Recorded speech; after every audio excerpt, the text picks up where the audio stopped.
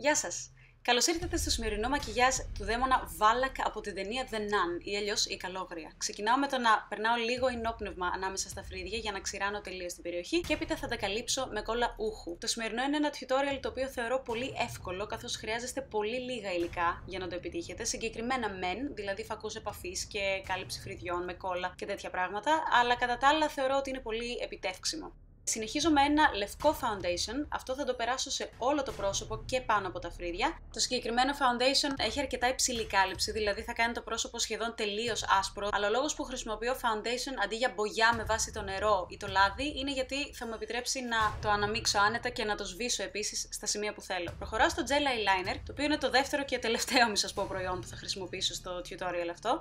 Με ένα συνθετικό πινέλο θα αρχίσω να απλώνω πάρα πολύ κατάστατα πάνω στο μάτι το gel eyeliner. Έχω πάρει πάρα πολύ μεγάλη ποσότητα και στην πορεία της σβήνω επίσης πάρα πολύ εκατάστατα με ένα πινέλο για σβησίματα. Ελάχιστα πινέλα χρησιμοποιώ σήμερα, αλλά είναι όλα συνθετικά. Τα mauve που βλέπετε είναι από τα eye sets των Real Techniques. Θεωρώ ότι δουλεύουν τις κρεμότητε υφές πολύ καλύτερα από τη φυσική τρίχα και τα μαύρα που βλέπετε είναι της NYX.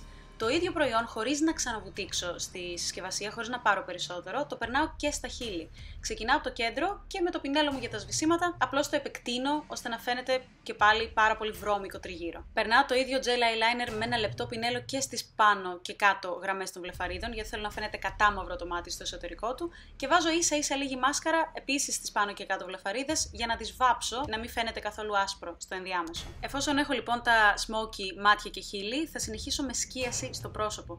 Θα ξεκινήσω με αρκετά συγκεκριμένη τοποθέτηση, δηλαδή χρησιμοποιώντας λεπτά πινέλα θα σχεδιάσω κάποιες πτυχώσεις και κάποια συνοφριώματα και ρητίδες στο πρόσωπο και όλα αυτά θα τα σβήσω με το ίδιο πινέλο για σβησίματα που χρησιμοποίησα πριν. Δεν έχω κουτίξει ποτέ μέσα στο gel eyeliner ξανά. Έχω την αρχική ποσότητα σε όλα τα πινέλα και από αυτό δουλεύω.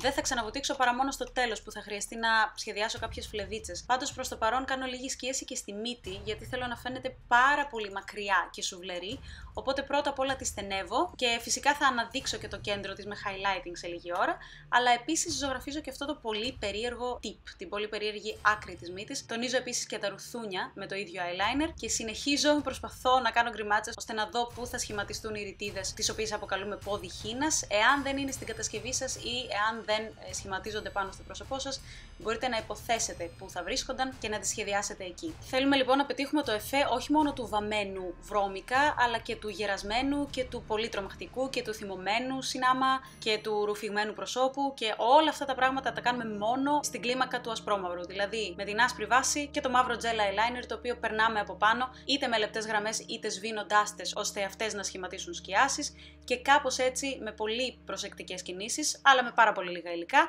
καταλήγουμε στο τελικό αποτέλεσμα. Αυτός είναι και ο κύριος λόγος που το θεωρώ ένα από τα πολύ εύκολα αποκριάτικα μακιγιάζ, επειδή θέλει τόσο λίγα υλικά και στην ουσία απλώς ακολουθούμε, υπερβολικά βέβαια, τη δομή του προσώπου. Θα χρειαστείτε βέβαια φακού επαφής, μάλλον, για να είναι πιο τρομακτικό στο τέλος, αλλά όλα τα υπόλοιπα πιστεύω ότι είναι αρκετά εύκολο να βρεθούν ή μπορεί να τα έχετε ήδη. Εδώ σχεδιάζω λοιπόν τις σκιές στα μάγουλα για να φαίνονται πολύ ρουφηγμένα. Αυτό το κάνω με το αρχικό μου πινέλο που έχει gel eyeliner και το ίδιο επαναλαμβάνω φυσικά και στην άλλη μεριά του προσώπου, βασισμένη στα δικά μου φυσικά ρουφίγματα. Εδώ το μόνο στο οποίο πρέπει να προσέξουμε είναι αφενός τα σβησίματά μας να είναι αρκετά βαθμιαία, κατά προτίμηση με τις τρίχες και όχι με το πίσω μέρος του πινέλου, όπως έκανα εγώ. Και αφετέρου το να αφήσουμε λίγη βρωμιά και λίγες ατέλειες σε σημεία που δεν πρόκειται ο θεατής να μπερδέψει με τις σκιές του προσώπου. Δηλαδή, όπου θέλω να κάνω σκίαση, για παράδειγμα στον κρόταφο ή στα ζυγοματικά, προσέχω να το σβήσω σαν να κάνω κανονικό contouring, δηλαδή σχετικά καθαρά και τακτοποιημένα.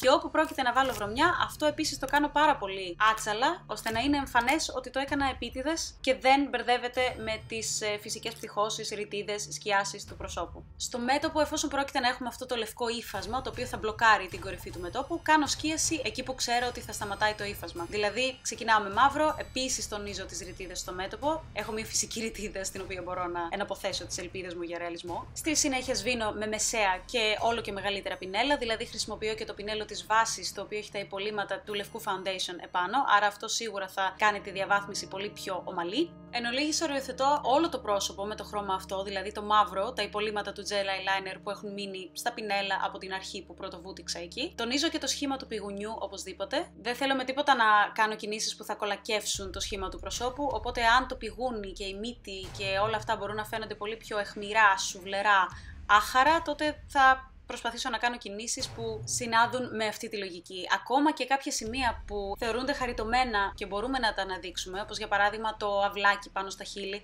που είναι ένα πολύ κοινό σημείο που θα μπορούσαμε να κάνουμε contouring και να φαίνεται όμορφο. Αυτή τη φορά νομίζω ότι απλώς εντείνει αυτή την εντύπωση της ε, αρρώστιας και του πεθαμένου τέλος πάντων αποτελέσματος που θέλουμε.